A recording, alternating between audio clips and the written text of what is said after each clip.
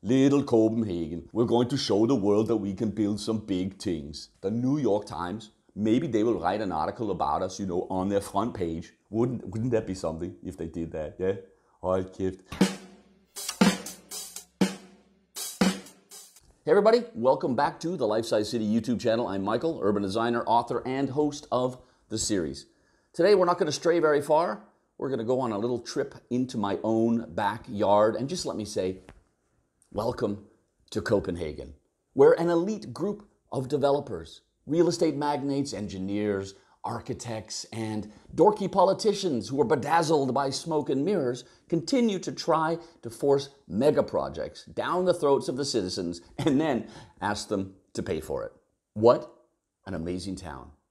In my work as an urban designer in cities around the world and through my work as the host of the Life Size City, I have seen some amazing things. But I've also seen some crazy shit. And the last place I expected to see it was right here in my own backyard. The latest mega project proposal we're seeing here in Copenhagen is something that you would expect to see in a place like Dubai or Saudi Arabia. Mind blowing delusions of grandeur. There are three mega projects on the go. One is happening, two are proposed, but I'm going to cover one of them here today. Now, in the season two episode of The Life Size City from here in Copenhagen, this is how I wrapped up the whole episode. This is a city that works much better than most other cities on the planet. But I find it reassuring that this is not a finished masterpiece. This is very much a work in progress. There has never been a perfect city, and there never will be.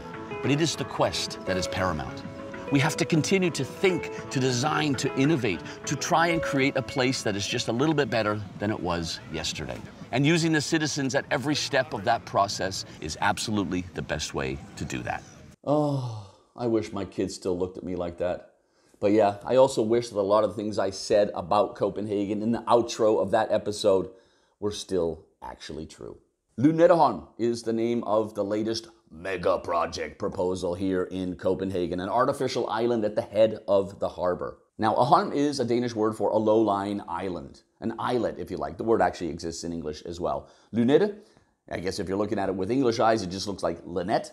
Yeah, well, that's the name of your uh, bartender down at your local country and western joint. But hey, as an urban designer, I have quite a few issues with this project. I have bored myself stupid over the holidays reading a 684 page report about the impact of the project.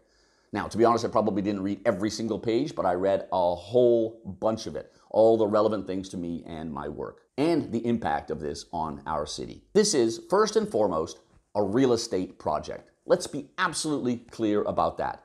This is about making land so some people can make lots of money. But it is so big, massive, in your face, this project. For such a small city as Copenhagen, a small country like Denmark, that many people have a hard time looking at it rationally. You see it all over the place in social media and in the press here. You know, the Danes are going, oh, yes, yes, yes, look at that. Little Copenhagen, little Denmark. We're going to show the world that we can build some big things. We made a little metro, you know, we didn't need it at all, but we just did it because we can. Big mega projects that's going to make them notice us out there in the world. Maybe the New York Times, maybe they will write an article about us, you know, on their front page. Wouldn't, wouldn't that be something if they did that? Yeah? Hold kæft. Jeg mener, it is so exciting to be a part of this, you know, uh, even, even though I don't really understand much of it at all. But hold kæft, man. But we know it's something called optimism bias. And we also know that it's something called technological sublime. Mega projects that are captivating to politicians and citizens because of the massive scale. But anyway, here is the lowdown about the project. The estimated price for this artificial island will be 25 billion Danish kroner. That's about 3.4 billion euros. To create this land in the harbor, it's going to take 80 million tons of dirt. To get that dirt to the harbor, we're going to need 87,000 trucks a year carrying that dirt. You know what that means? That means 72 trucks every hour for 10 hours a day rumbling through the streets of Copenhagen for 30 years. Yeah, sorry, I'm just going to jump in there for a sec. 30 years. and here's the map of where all the trucks are going to be driving. This is Copen trucking right there, man. And uh, I wouldn't want to live anywhere near that, which is basically the entire city. And the project will be finished in 2070. It's going to take 50 years to build.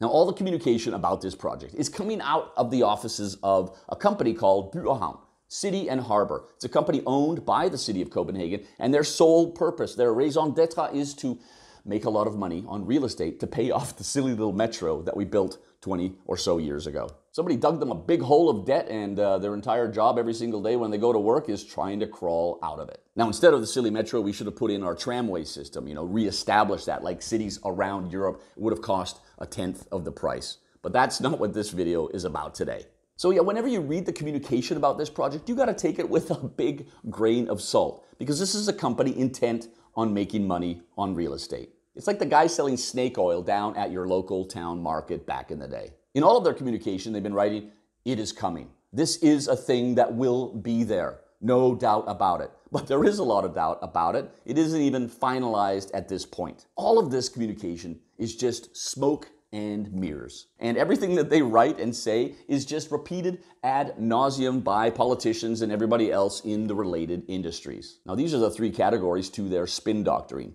First of all, there's a housing shortage and crazy population growth. Now, there is a housing shortage, especially affordable housing. But the whole plan here rests on the fact that expensive plots of land on the artificial island have to be sold in order to try and offset the price of the island. These won't be affordable homes at all. They will be more of the same fancy homes that we see being slapped up all over the place. Across the harbor, the new development of Nordhavn is still being developed, but already there, the prices for homes are among the most expensive in Denmark.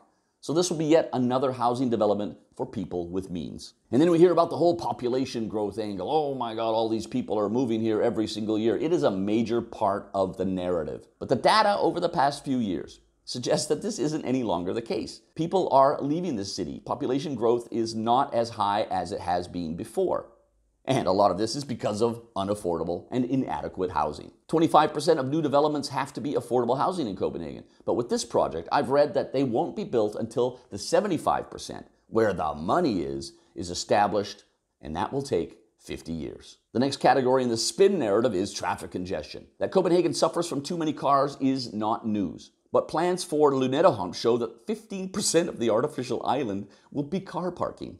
So there go all hopes for creating the world's most sustainable development. One right wing politician even said that, oh, this project needs four lane roads, or else we can't sell the properties at a high price. Add to that the Danish Ministry of Transport's expectation that the number of cars in Copenhagen and Denmark will continue to grow exponentially. From 2.6 million today to the projected 3.5 million in 2030.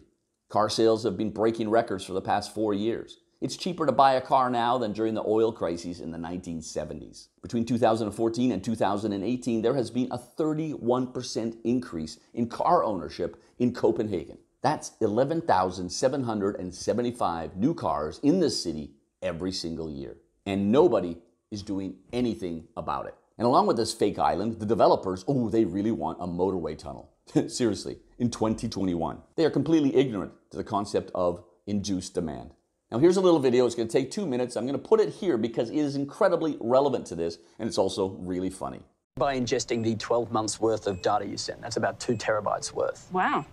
What you're looking at now is a typical midweek traffic flow. Green is good, orange indicates slower than average, red is heavy. Now we can manually input a range of external factors wet weather, public holidays, RDOs for the industrial sector, breakdown on a major arterial. That's pretty impressive. So we've taken your project. The road upgrade, extra lanes, on and off ramp lengthening. We factored in all those improvements. So starting with current flow during peak, then during construction, some problems. Of course. And then when it opens. Oh, that's brilliant. Amazing. And with the machine learning, we can keep it going. Year two, year three, year four. Wait, wait, what's going on? What happened? Where'd the green go? What happened? Why does the traffic get worse? Have you heard of the Jevons paradox? I'm hoping they're a death metal band. It basically states that the better you make something like a road, the more people will use it. Isn't that a good thing? No, it means you spend a lot of money now for a very short term benefit. So there is some benefit. Oh, sure. Average travel times crossing the city will be cut by two and a half minutes, or a little less. Call it two. Really? And that lasts for 14, 15 months. Then declines. Oh, no, stays flat. Then declines. Well, for $300 billion, I guess we were hoping for something a little more dramatic. Two and a half minutes. Call it two. You don't look happy.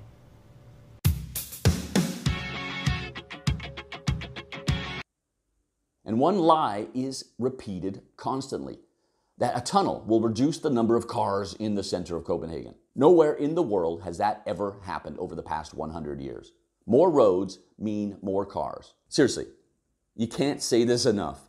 More roads means more cars. Period. But there's one thing that we haven't heard too much about at all. There are currently preliminary studies underway about how to increase capacity on the main motorways around Copenhagen, like most of them. If these people are allowed to build their tunnel, they want to increase capacity elsewhere. They're even talking about expanding the Amager motorway, the one that leads to the bridge to Sweden, to eight lanes. They are planning like it is 1965, man. But then you hear them all say, oh, no, no, no, no.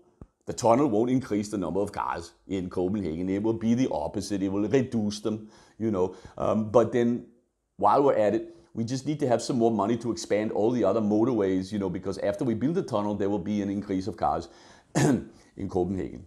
Hold kæft. And there are plans for a metro extension to the artificial island as well. The price is not included in that 25 billion I mentioned earlier. And you can add to that another outstanding amount. Because the existing mini metro was built too small with only 3 carriages, it has to be extended along with all the stations. And work needs to start by 2025 in order to be done by 2035 when capacity will be reached. And that is just based on the current structure here in Copenhagen and not even thinking about 70,000 new people on a fake island. The third thing they're spinning this as is a massive project to protect the city from rising seawaters and especially storm surges.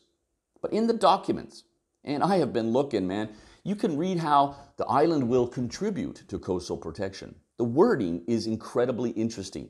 It's not a coastal protection project. It's not storm surge protection due to climate change. It will just contribute to it. But of course, in the public debate narrative, it is hyped up. The primary goal is making land to make some money. Okay, let's look at the numbers. This artificial island is going to cost about 25 billion Danish kroner, give or take. But one thing we know for certain from all over the planet is that mega projects always go over budget, like obscenely so, and they're never ever finished on time. But that number, that's all you're supposed to hear about in the communication from By It's a free island. That is the rhetoric we're actually hearing from politicians who obviously read the brochures from that company. It's free, they tell us, because the price of the island is going to be offset by the price of selling the properties on the island. Well, maybe, but maybe and eh, probably not. Because the properties on this island, depending on the market, are going to sell for between 12 and 23 billion Danish kroner. There is a lot of space between 12 and 23 billion. So in their communication, they are counting on getting the actual price, which is so completely optimistic that it is so completely foolish. And then we have the big stupid motorway tunnel that's going to pump more cars into Copenhagen. More roads, more cars, right? And that's going to cost about 25 billion Danish kroner. And that is a very conservative estimate. Establishing a metro line out to the new artificial island, that's going to cost about 20 billion Danish kroner as well, give or take, depending on which of the three models they're working with they end up choosing. The necessary upgrade to the existing metro because they screwed up in the 1990s, that's going to cost 6 billion Danish kroner. And then there's Copenhagen's sewage treatment facility, which is right on the harbor next to where this island is supposed to go. That's going to cost 10 billion Danish kroner to move. But don't worry, if you love living near waste products, the massive garbage incinerator that some other morons built 1.5 kilometers from the Queen's Palace and the city center, that's going to stay. And we don't even generate enough garbage to fill it up, so we import garbage from the UK and Poland and other exciting places. You're welcome. But hey, don't worry, they put a ski hill on the top so you won't notice. The plans for the motorway expansion around the city is estimated at 18 billion Danish kroner. So we're up around 104 billion Danish kroner. And remember, mega projects always go over budget. And even if I'm off by 20 billion or so, this still doesn't make any sense. This is absolutely insane. There is a municipal election here in Denmark in late 2021, but this project, man, it is being hurried through the corridors of power. They're trying to get it all approved before that happens. Don't you think that the citizens of a city should have a voice, should be able to vote in their election about whether or not they want a massive project like this? One that is going to impact the lives of so many people in the city and for so many years to come. But hey, let's take a quick little walk down memory lane because Copenhagen has a long and embarrassing history of proposing massive mega projects like this one. And most of them came from the Social Democratic Party. If you like the neighborhood of Nørrebro, you should be really happy that this project didn't happen. Formlinjen. This is what it would have looked like if they had built all the motorways and basically bulldozed most of the neighborhood. Then there's the infamous Søringen, the lake ring, a motorway running down the length of the lakes and leading conveniently to City Plan West, bulldozing the Vesterbro neighborhood to make room for more highways. Basically, most places that I like to drink are under that asphalt.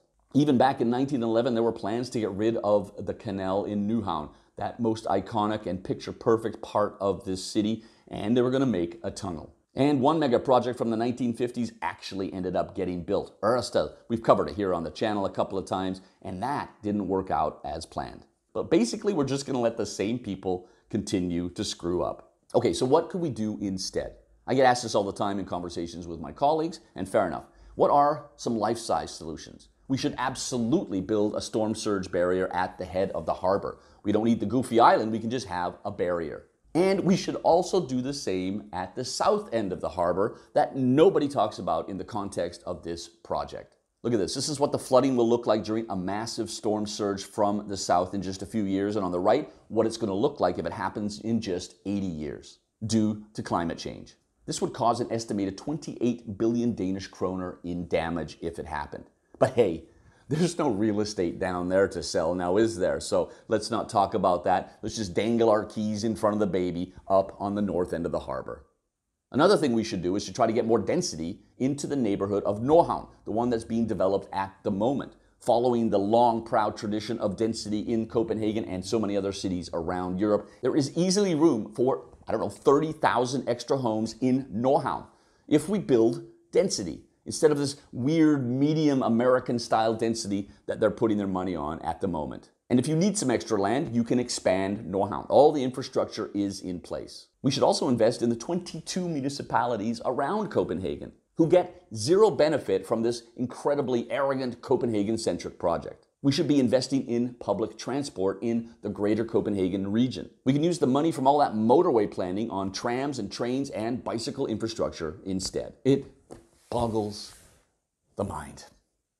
But hey, if you fancy living in a city that is so heavily indebted and you're expected to pay off that debt as well as uh, your children in the future, a city with rising car traffic like really nowhere else in Europe and no vision from anybody to reduce it, a city with streets that are consistently over the accepted pollution levels as established by the European Union and no vision to do anything about that either.